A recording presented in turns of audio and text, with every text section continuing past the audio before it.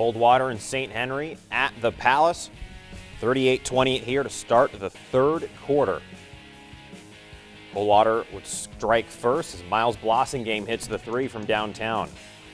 And Zach McKibben in transition and lays it in. Coldwater coming out hot as McKibben. Pull up jumper at the foul line, the right corner. And that one is good.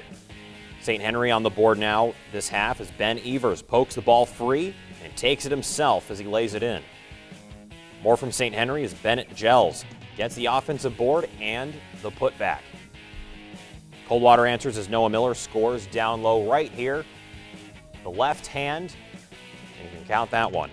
Then it's Evers again, this time hitting the three for St. Henry from downtown as we take a look at our final score from Coldwater. St. Henry winning on the ward on the on the on the road 60 to 49.